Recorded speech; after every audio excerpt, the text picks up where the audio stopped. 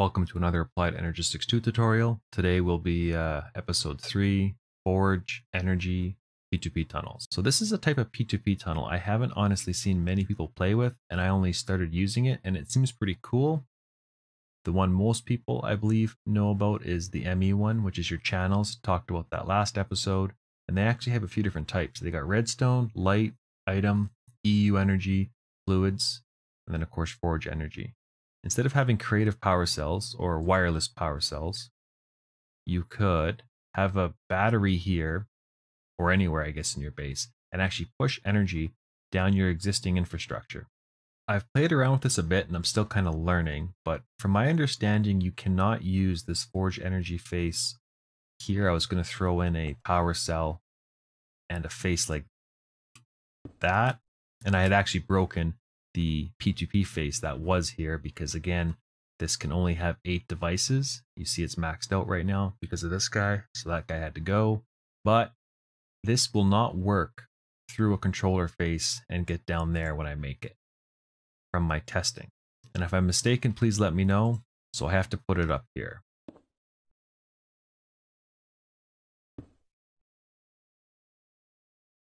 Something to be aware of too See how it says P2P FE?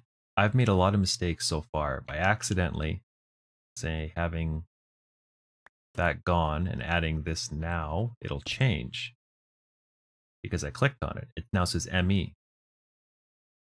So if you use a power cell and you click on it, it actually changes it to FE, which is kind of interesting. And I guess it makes sense because if I take off my creative mode you can't actually spawn these. You have to use like a bucket to click on a tunnel to convert it to fluid. So the only one you can actually make is the ME. And then when you click on it with various things, it changes what it does. So just be aware that has to be FE. And so now if I go over here and I throw down a FE, I'm going to intentionally do the same mistake again. I'm going to link them up. Notice it's ME. You got to have a power cell handy or any type of RF device right click on it, it changes. Download the cards so they're synced up. Device missing channel online. Okay, it just takes a little minute there. We can get rid of that now because that is just a creative power cell. And I like to use these vibrant capacitors with a Yeta wrench because they're kind of neat. So now we've got power traveling from that battery in one location through this network. It is using the one channel, like I mentioned. Actually, you know what? It's using two. Aha. See, two channels. Two of the four right now are being used for my P2P tunnels there. Because the other ones, the other half of them, here and here, are on a different side of the controller. Oh, something else to mention too. I got two thoughts going on. So this is a power issue. Too much power is getting pushed, the system can't keep up. And notice it's not the main net, it's the subnet. Nope, the main net just died too. See how the power is fluctuating all weird like that? You ever notice that? You just got to slam down some power cells. And I've thrown them on the sub network. So now we're at 9 mil. It seems to be kind of okay. It's not dropping to zero. And then the main net had actually died too. It's pretty low. So it could actually use a Throw a few on there. 13 mil. Nice. And anything uses power if you're not familiar. Like if you're doing a lot of auto crafting or a lot of items, input, output, it uses power. So if your network ever gets wonky, just slam more power cells on it. And do the same for subnets. Okay, back to this before I got distracted. See how this ME tunnel and this ME tunnel, the two here that are getting pushed to there and to there for my channels. Since those are on the other side of a subnetwork controller, they're on this face and then they're on this face, they get pushed through. They actually only, only end up using two channels on this uh, this line, which is there and there. The other two that make three and four is this and this. So pushing energy on a AE2 network does use more channels because you can't put it on the other side of a subnetwork. As far as I know, if I'm wrong, please let me know. If there's a better way of doing things, let me know.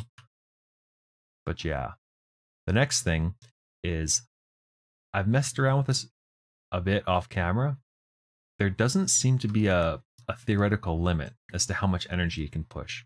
Right now, my limit is 1 million because I'm using a creative RF power cell that has a limit. You can see there up in green of 1 million RF per tick.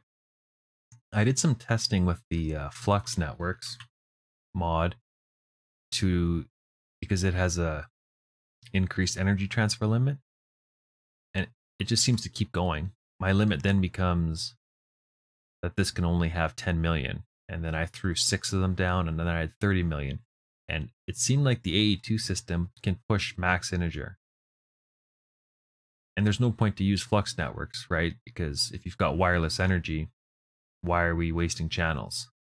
But specifically in the Enigmatica 2 expert pack, this is kind of gated. It's hard to get into. You'll get into this type of uh, system way before you'll get into flux networks. And before I forget, since I'm actually using an extra channel, I should break another one of these because it just helps me stay organized to know, hey, I've got two tunnels missing here because these two on the energy are being used. They're occupying space. I thought this could be an interesting way to demonstrate moving power around.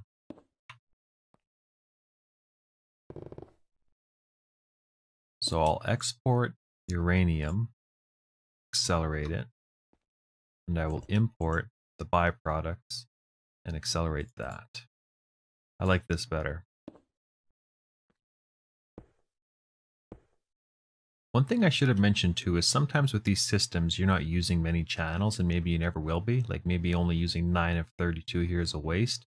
So I can shift right click and I've copied that configuration. And if I go and I paste it over here, I can actually use, I can split the, um, the P2P tunnels. It takes a minute, now it's online. So you just have to be aware though that this frequency, C782, is actually using two channels here plus the nine over there. So if you want, you can be efficient that way. You just have to be aware of where you're using everything. And if we look, yes, you can kind of see the yellow reactor cores. So I can hit start now. The next thing would be the batteries. This is exporting power. I don't know if you saw, but there is a uh, power tap, three of them down here. So I don't know a lot about reactor designs. I just slapped this together, but apparently it's only making me 10,000. I slapped this forge tunnel down.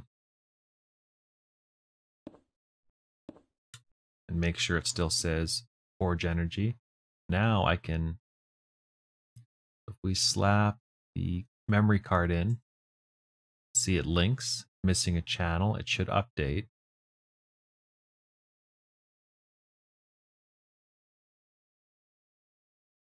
So notice how it's flashing online and offline, and then the power's fluctuating too. I believe that is the exact same issue because I've removed this. Now that I've put those energy cells back, we're bringing in about 10,000. So I believe this is a pretty good use case to say, hey, you know what? I'm going to power my base from that power cell and I'm going to use it to push energy. Because basically, this can move as much energy as you give it, from what I've seen, anyways. 10,000 is barely anything. It can move at least 30 mil. I think that's the highest I've seen it move when I was testing with Flux Networks. I wanted to try and answer a question from the uh, my second video, the last one. Somebody asked if you were to connect the ad hoc network to the main controller with a dense cable, wouldn't that solve the sole issue of only being able to use eight channels? Would this allow any P2P tunnel to be accessed directly from the, the main network? It's kind of a two-part question. Um, so the ad hoc network was I'll do that right now. I was saying you have to have this other controller in here as a subnet. And he's saying, why don't you just get rid of the subnet? I think that's what he's saying. I hope that's what he's saying. Because that's what I'm going to talk about here. Okay, so controller's gone. And then just tie this directly to the main controller. So we've removed the red channels and the blue channels down here. So that's 8 and 8. So 16 are gone. So you would expect to see 16 here. But where is it? We've got 18. And the reason for that is these 8 red ones and these 8 blue ones plus this one and this one actually equal 18 instead of 17. So you could totally do this, but you would not be able to use this bottom half of the network because if you're using these 16 here to have their 16 counterparts over here somewhere, um, you, you lose half your capacity, if that makes sense. So putting this back to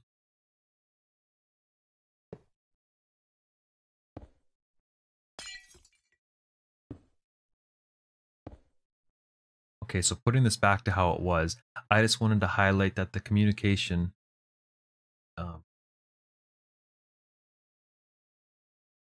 Okay, putting this back to how it was, I don't actually know if this technique is called a subnetwork. It might not be. I don't um, know what it's actually called. That's just what I've been calling it.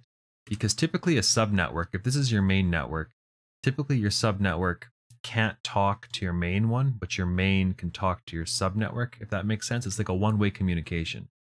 So this isn't a true subnetwork because if I click over here, of course, the interface I slapped down can see these machines that I have over here. If this was a true subnetwork, I believe you shouldn't be able to see the items, which I can see them because that storage drive is my only item storage in the whole build here. And um, so the communication works both ways. So I guess this isn't technically a true subnetwork.